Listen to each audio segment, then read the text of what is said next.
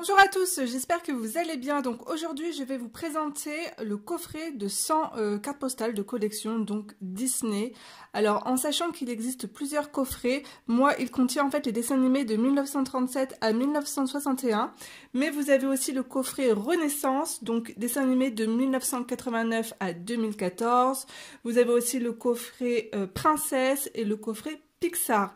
Donc je les ai trouvés sur Amazon. Je vous laisserai tous les liens en barre d'infos. Je vous montre le coffret.